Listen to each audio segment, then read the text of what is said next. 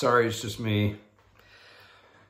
Sister Palmer is, I don't know, you don't call it babysitting when you're watching your grandchildren. I, I don't know, uh, I guess you just say watching grandchildren or taking care of them or loving them or being with them. Anyway, that's where she is, away from home, taking care of grandchildren, which she does the best. But um, so you're just gonna have to deal with me right now. Um, there, there's so many things. First off, Sue has um, reached out through Messenger, her Facebook page, to, to try to uh, share some of the things that she has found in, uh, in, in more natural type of remedies, right?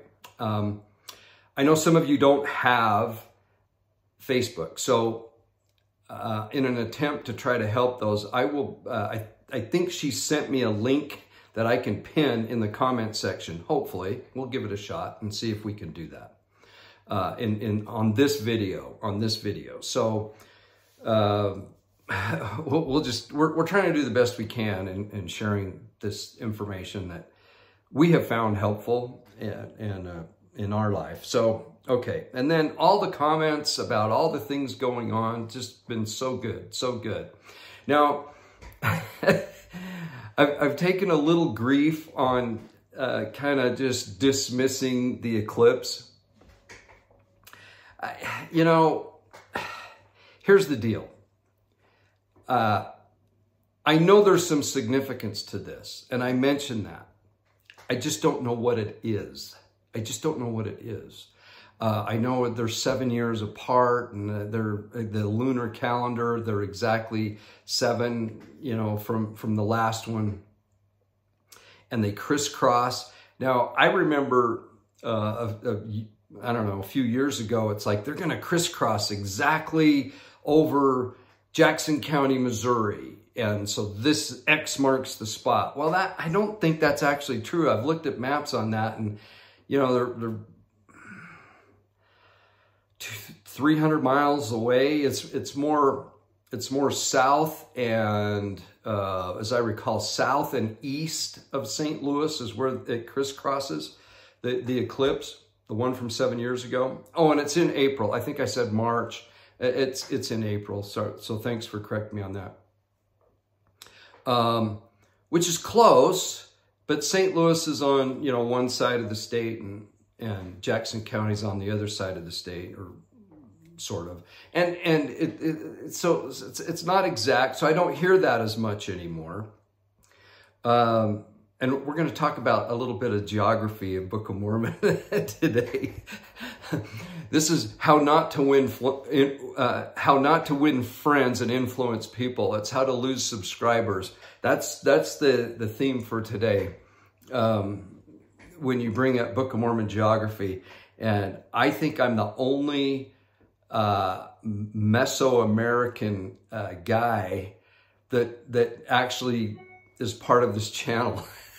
Everybody else are uh, Heartlanders. So I'll bring up something here. Um, so I'm prepared to lose some subscribers and, and listeners uh, uh, just because of, you know, what I found here. But, and it's in Come Follow Me um, for this week's reading, and, and we're going to talk about that. So, so back to the eclipse. It's uh, I know there's some apocryphal, uh, apocryphal, uh, is it Nicodemus? You know that people tie the eclipses to and the heavens. Not these, maybe this particular eclipse, where the veil is rent, and there's there's a lot of things, a lot of things. I think what Sue said rang true to me, and that is it's a warning. It's a it's a harbinger. Yeah, I like that uh, of of of change and things that, that are going to happen. We have so many crazy things in Israel. You know, uh, these resolutions and these international courts uh, always coming down on Israel, always coming down on Israel. Now, look, I'm not here to be an apologist for the government of Israel. I just know biblically the scriptures concerning God and Israel, and he's not turning his back. God is not done with Israel. Um, there are so many prophecies uh, concerning not only the land, but the people of Israel. And uh, we're going to talk a little bit about that as well. So, um, what is Israel? What, what, what role does it play? Uh, but, you know, it, it, really is lining up for everybody being against Israel. it, it's We're there. We're there, Harry. Um, to quote a line from Dumb and Dumber, we're there, Harry. So the uh, the international court, the UN, the resolutions, all these things of genocide uh, committed against the Gaz Gazians, Gazans, Gazans. Um, it is interesting how nobody brings up Egypt. I was listening to a guy, and if I if I can remember, I'll link one of his videos. He's so good. He's a tour guide, a tour guide and true Israeli in Israel. And he has a great YouTube channel. And, uh, but he, he, he brings up some fascinating things. Nobody brings up uh, Egypt. Egypt shares a border with Gaza. And, and I think Egypt is like 70 times larger than Israel. They're fellow Muslims, and yet Egypt won't open their borders to the Gazans. None. Won't, won't open it a bit. Nobody mentions a thing. It's always Israel's fault. Everything is Israel. So let's let's keep that in mind. Um, Egypt would have the space, the ability, there'd be like-minded in religion and all that kind of culture, all that kind of stuff. But no, nobody says one thing about, hey, you know, like it's, it's like when Ukraine, the, the surrounding countries there, uh, welcomed the, the people that wanted to leave Ukraine and go. They, they were welcome. That's kind of nice. Uh, but nothing, nothing said like one thing. It's everything is Israel's fault. Meanwhile, there's still hostages held. Who knows if they're if many of them are alive and the atrocities done, and yet we sit here, uh, well, I say we as the United States and tell Israel, you know, you need to do a ceasefire and you need to, to stop. Well, I'd stop when the hostages are released and when um, you're uh, when a country is assured that you're not going to get attacked again. Um, it was just horrific, and everybody's already forgotten that. Forgotten that. Okay, so the uh, I'm still looking forward to this eclipse. I want to see, I want to experience it. I just can't get it into this thick skull what the, the specific significance of it is. That's all. That, that's all.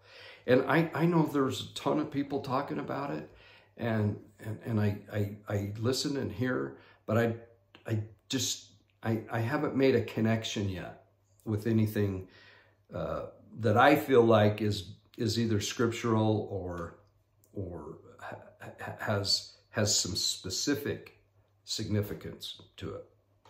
So that's just that's just I'm just being honest. I'm just being honest there. Okay. Now in Second Nephi, or excuse me, First Nephi chapter 11. First Nephi chapter 11. Oh, we read some interesting things. So this is where Nephi sees in vision what Lehi saw. And he sees a few more things or notices a few more things, right? Um, the love of God, we've talked about this. The tree of life is the love of God. And I always go to John 3.16. For God so loved the world that he gave his only begotten son, that whoso believeth in him shall not perish, but have everlasting life. For God so loved the world. The love of God is who? Jesus Christ. The tree is Jesus Christ, in my opinion. Okay, and I think that's that's one scripture that really, really uh, points to that. Now, uh, Nephi 11:33. This this really gets interesting. And I Nephi saw that he was lifted up upon the cross. Now, I've done several videos on the cross versus the garden. It's not really of, verses, but I, I just say it that way, just, you know, to to kind of bring it out. Um, we, as members of the Church of Jesus Christ of Latter-day Saints, we focus way more on the garden than we do the cross. Other Christian denominations almost exclusively focus on the cross. And I would say scripturally, it is mostly the cross. It's mostly the cross, the garden being the preparatory place. And Nephi doesn't mention any of the suffering in the garden. He doesn't see that in vision. Isn't, wouldn't that be significant? If that's where he suffered for all the sins of mankind was in the garden, but he sees the cross. Okay, so that, that's one thing. Verse 34, and after he was slain, I saw multitudes of the earth that they were gathered together to fight against the apostles of the Lamb. Now, this is this is where I want I kind of want to focus today. This and a, and a couple of other scriptures. The apostles of the Lamb, for thus they were the twelve called by the angel of the Lord. I was in a meeting one time and was taught and I, if I if I knew the, the general authority's name, I'd tell you, but I can't remember. I didn't write it down, but I did write it down that we we were taught that the in this meeting that the original 12 or, or that verse 34 is talking about the original 12 okay? And the multitude of the earth was gathered together and i beheld that they were in a large and spacious building like unto the building which my father saw. Whoa! This is really, this is really interesting here. And the angel of the Lord spake unto me again, saying, Behold the world and the wisdom thereof, yea, behold the house of Israel hath gathered together to fight against the 12 apostles of the Lamb. They're the ones in the building, the house of Israel. And they're gathered together to fight against the 12 apostles of the Lamb. Now, in this meeting, this 70, General Authority 70, said that verse 35, when it says to fight against the apostles of Lamb, that's referring to latter day apostles. And I uh, remember that, and I've, I've studied that, and I will respectfully disagree with that assessment. In both cases, they're called the apostles of the Lamb or the Lamb of God. Now, where do we first hear where, where do we first hear that Christ is identified as the Lamb of God? Now, we can go to Isaiah, we can go to Old Testament scriptures, and there's some there that refer to the blood of the Lamb and, and, and, and this, and I, and I want to get into that. But it, it Christ is identified by John the Baptist. This is uh, the Gospel of John, chapter 1, verse 20, 29. The next day John seeth Jesus coming unto him and saith, Behold the Lamb of God. So then the apostles would be the apostles of the Lamb, right? This, in my opinion, First Nephi 11, 34 and 35 refer to the original or the ancient apostles. Now you can talk about Judas and, and do all your, you know, mental gymnastics uh, about, oh, well, you know, what about him? Well, what about him? Uh, is, it Matthias? Is that who replaced Judas? Um, the original apostles, the 12 apostles of the Lamb. Um, if you want to include Judas in that, you can. If you want to replace him, you can. But those are the original 12. And the first presidency of that 12 were Peter, James, and John. Very significant. And it's, it's, it's interesting that they are identified in the temple as messengers representing messengers that come, Peter, James, and John, of the original 12. So my contention or my belief, and this is just me, I'm not speaking for the church or anybody else, and I can have a disagreement. But this, but in both cases, they're called the Lamb, the apostles of the Lamb. Now this is significant because when Christ came for his earthly ministry, he came as a lamb, the Lamb of God.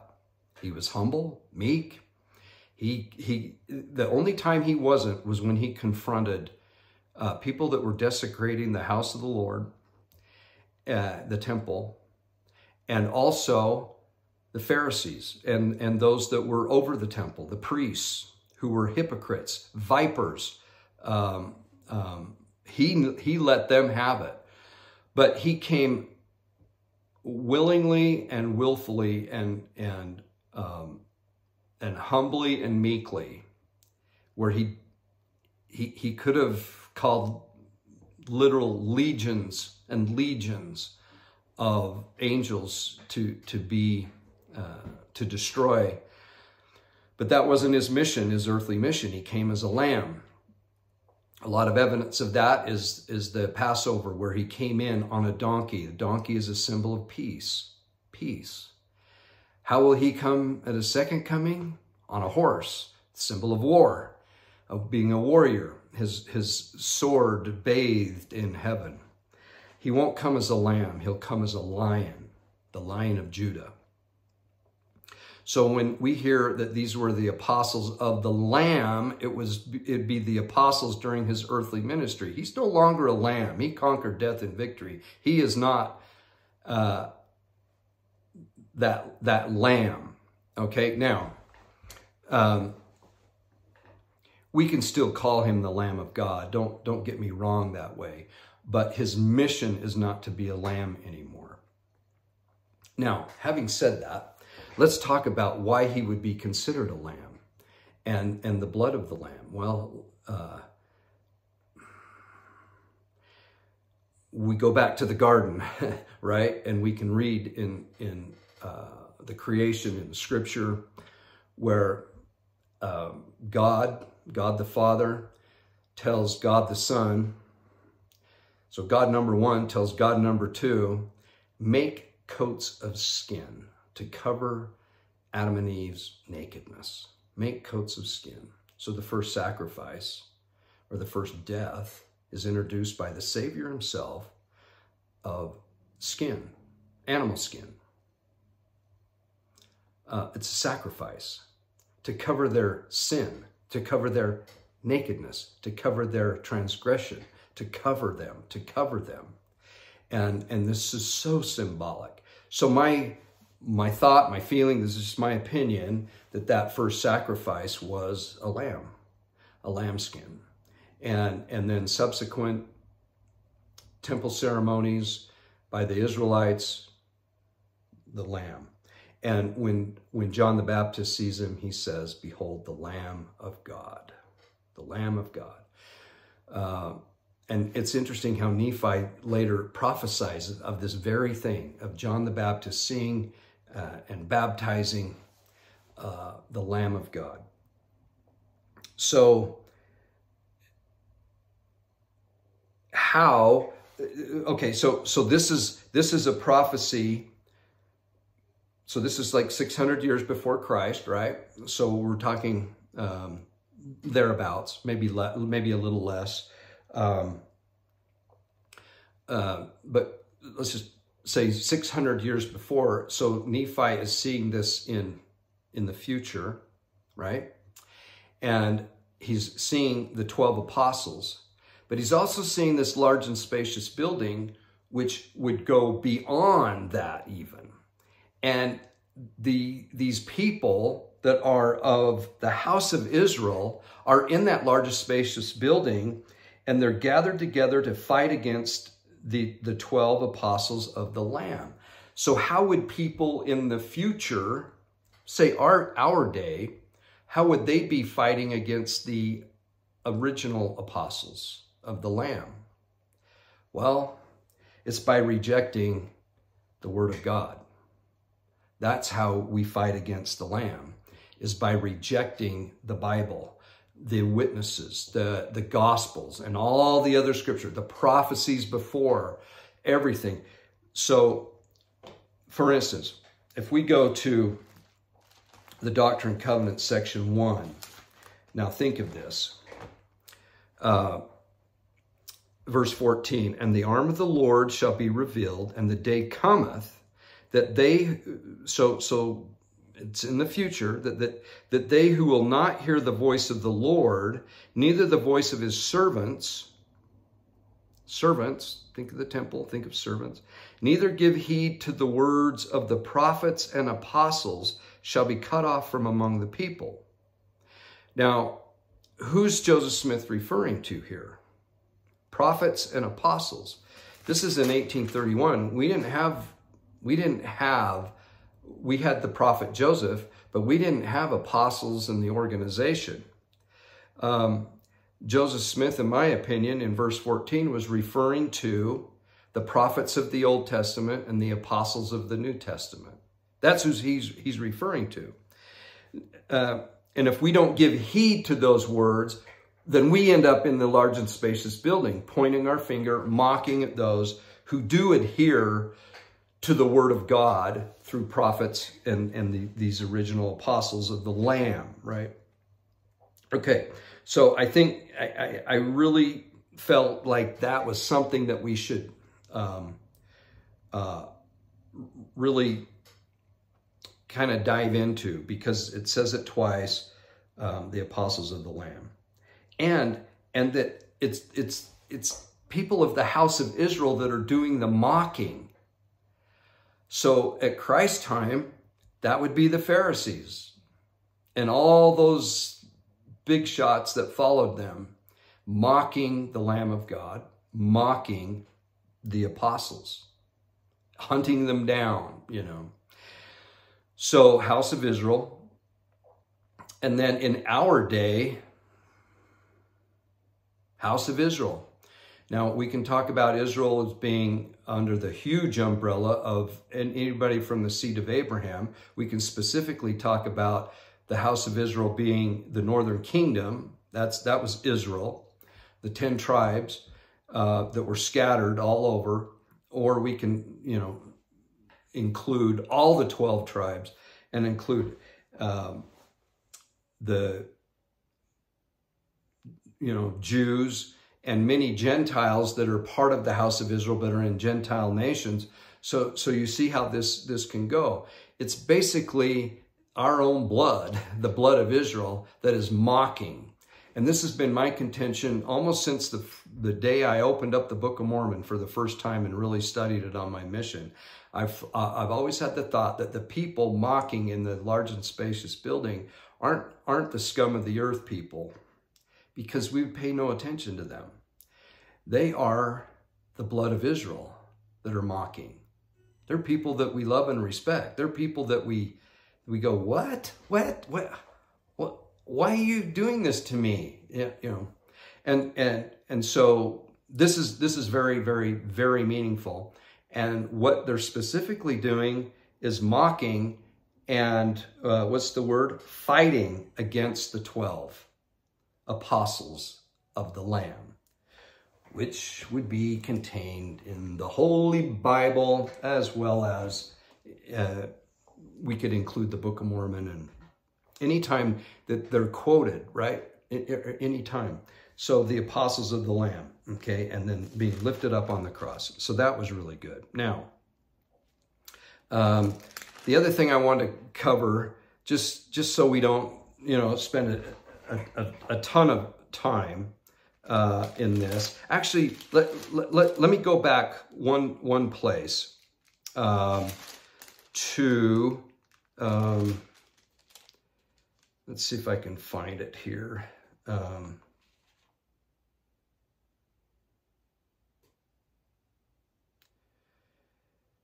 let's see here.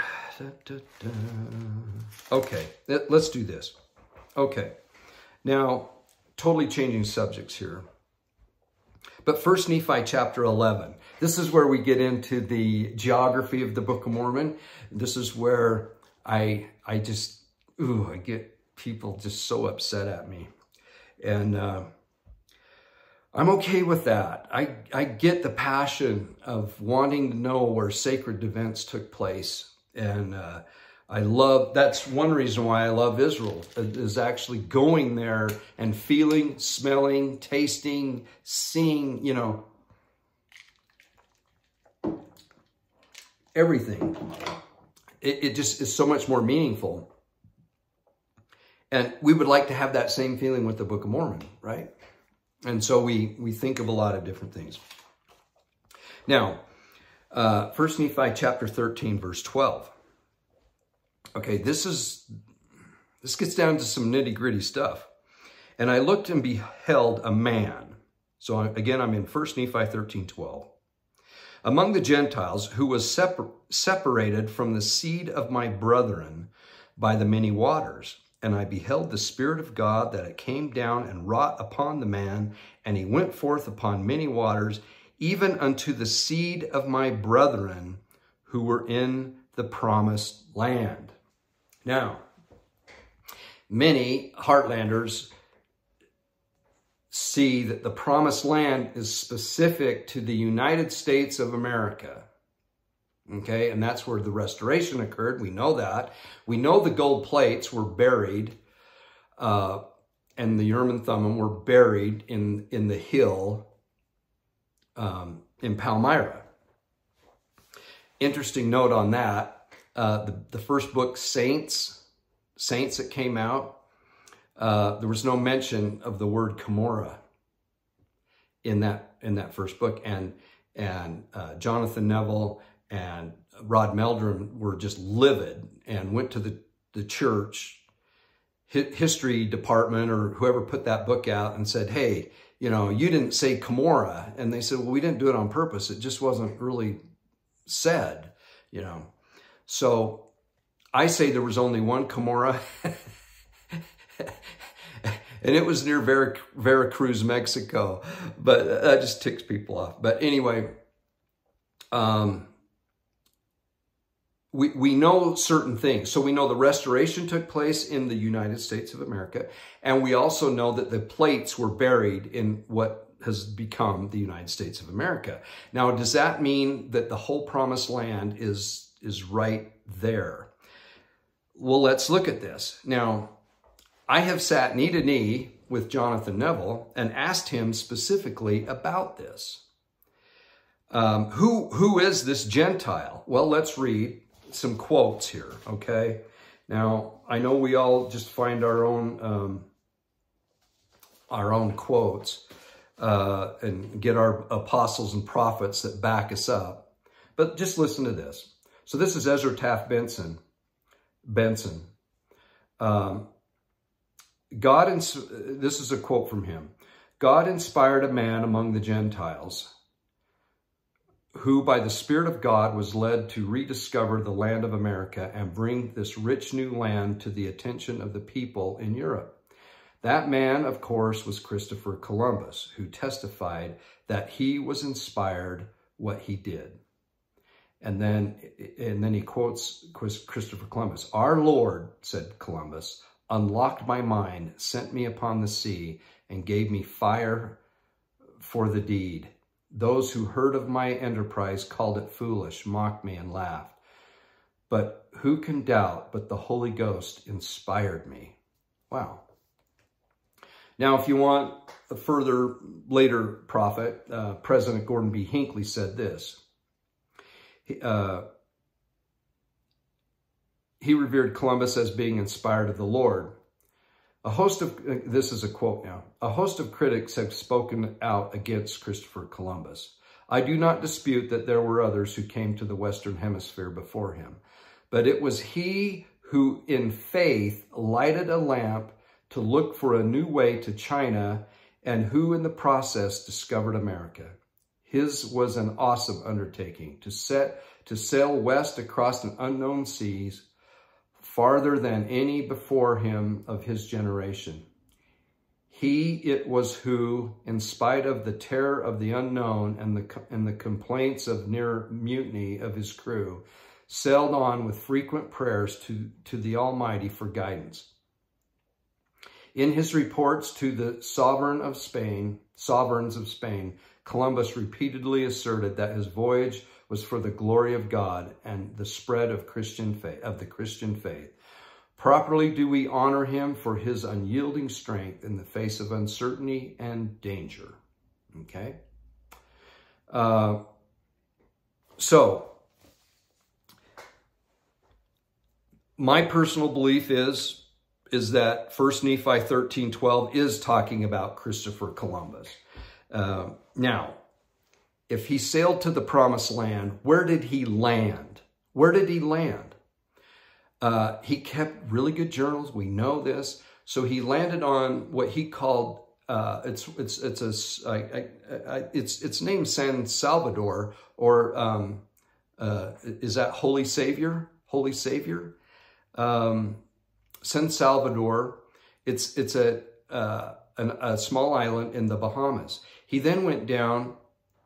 He made he made four I think voyages, and the subsequent ones went further south and further west to where he actually went to Central America along the coast there.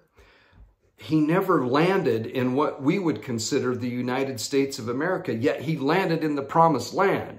So um, he, he, he went to, uh, he called it uh, Hispaniola, I think, something like that, which is now um, um, um we have the Dominican Republic and, uh, oh, what, Haiti. Haiti on the, the west, Dominican Republic on the other side. That's where we're going to take our tour in June. Uh, service vacation. It's going to be a humanitarian vacation. It's going to be awesome. But th th we're going to be right there where, where Columbus was. This is the Caribbean. And, and so we have to think of things differently where there, there, there weren't the, it wasn't just the United States of America as we see it now, and then everything was contained in that. You know, even Utah was part of the Mexican territory at the time of Joseph Smith. So, you know, is Utah part of the promised land? I mean, see, see where this goes. It was the new world. This was the promised land. And it would include all the Americas, all the Americas, what we'd say North, Central, and South America. Okay. Now, where did the Book of Mormon take place? Well, if you're landing in the Caribbean and you're and, and the Caribbean, I mean, we've been to the Bay of Honduras off the coast of Guatemala. It, it's the Caribbean. And and you it, it's absolutely gorgeous. It's it's it's it's crazy. And and you just go inland a little bit and there are mayan ruins everywhere. It's it's awesome. And so and i beheld the spirit of god that it came down and wrought upon the man and he went forth upon many waters even unto the seed of my brethren who were in the promised land. So they were the seed okay and where did he land never in what's known as the united states of america Mm-mm. So I asked, I, I said, I, I need to need to Jonathan Neville this, and he goes, well, we really don't know where, where Columbus landed, and we don't know for sure if that was Columbus. Well, they, those could be valid arguments, but, you know, I have, I've read those quotes. It, to me, it's pretty evident that this prophecy that Nephi had is about Christopher Columbus. And we, we have really good evidence that he never landed in Florida or or these other places that that would you know fit right? The the heartland theory. So I know I'm going to get explanations on this and I can't wait. So that that will be that will be very very interesting on that uh, we have prophecies of the Revolutionary War and um, um, we're we're gonna well here's another one in in 13 where it talks about the apostles of the lamb while we're in 13 verse 26 and after they go forth by the hand of the 12 apostles of the lamb from the jews unto the gentiles thou seest the formation of that great and abominable church Hmm, interesting. That gives us some clues, I think. Which is most abominable above all other churches. For behold, they have taken away the gospel of the Lamb, many parts. So that we're still talking about the original church that Christ set up in his earthly ministry, in my opinion, which are plain and most precious, and also many covenants of the Lord have they taken away. Huh. So who took away the covenants? Who who did it? Um, um, after the 12 went out and then uh, uh, from from the Jews to the Gentiles. That was the original 12. Go ye into all the world, right? So those are just a couple of things I wanted to cover um, in our reading this week. There's so many other things, and there's so many crazy things going on in this world right now. Um, the southern border, we have the Texas governor putting up his razor wire, and then the Supreme Court uh, by by a vote uh, says, well, the federal government can can open that that razor wire up that you you put there. Um, and then we have some Western governors that support the Texas governor. It's all meaningless. So that's why they do it, including our governor uh, in Utah, Cox, because he knows that it, it, oh, look how strong I am. Well, it has no meaning. It has nothing. So it, it sounds and looks good. Uh, things are really shaping up. We, we also have the presidential election in the United States um, really, really shaping up interestingly uh, with, with Donald Trump running in the primary against Nikki Haley. Um, one of the criticisms of Trump is his, uh, uh, you know, his memory and all this, and and uh, he he said, "I'll take the tests. I'll I'll show you know how good I am." But the the complaints by the media were this: it was, well, he said that it was Nikki Haley who was responsible for security on January 6th. And, and what he should have said was Nancy Pelosi. Well, this was brilliant, in my opinion. This was brilliant. By saying Nikki Haley, everybody attacked him. Media, you know, the, the left, you know, anybody supporting Biden and all that, they said, look how dumb he is. He said Nikki Haley. He should have said Nancy Pelosi. Well, they've been denying that Nancy Pelosi was was, was really in charge of security. And the footage of January 6th is amazing. The security, they're opening the doors. They're, they're saying, hey, come and look at this room, do this. You have the, the, the uh, CIA operatives in there, you know, stirring up people and doing everything. So by, by that pas, if it was a faux pas, I don't think it was, all the media, all the people said, it was Nancy Pelosi. Here they'd been denying that it was her in charge of security, and now they're they're they're the ones pushing it because because of the mistake, quote mistake, that it was Nikki Haley. This was brilliant, in my opinion, in exposing who really was responsible for security at January 6th with with um, what Mark Dice says was a mostly mostly peaceful protest um, called insurrection. Oh my goodness, what a joke!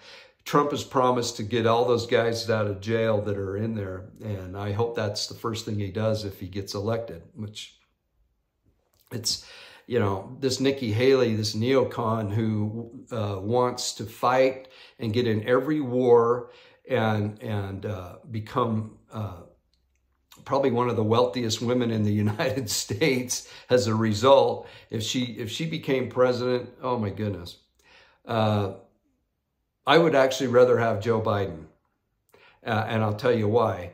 Uh, it would just bring the second coming, you know, just like so much faster. And just, just I'm not a fatalist. I, I, don't want him. I'm just saying this, this, this Nikki Haley is, is a fake and a phony, in my opinion, as far as her, her, you know, political conservatism and all that kind of stuff she's there to make money and to make a name for herself. And and she's in the uh, in the pocket of, of all these, you know, the defense contractors, the industrial war complex, really. Um, and that that's how it looks to me. So we'll see what happens uh, with these elections. But this is this is the only reason why I bring up the elections, uh, or I, I shouldn't say the only reason, but one of the main reasons I bring it up is that it this this is just another one of the catalysts. This eclipse could be another one. This year is going to be very, very interesting in so many different ways. Um, we could see our whole political um, system blown up this year, um, which it, it probably already has been, in my opinion, with the last election, but we'll see. We'll see what happens.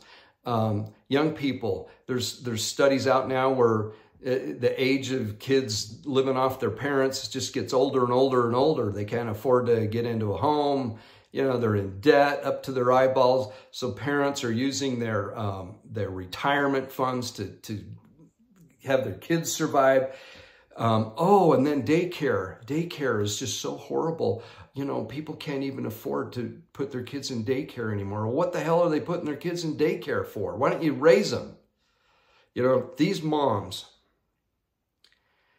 you know, th this gets back into gender and roles and, and, you know, you can't even say anything anymore without getting shouted down by the large and spacious people in the large and spacious building. But there, there are different roles to play. And, and when you confuse the roles, you confuse the genders, this, these, are the, these are the consequences of what we're dealing with.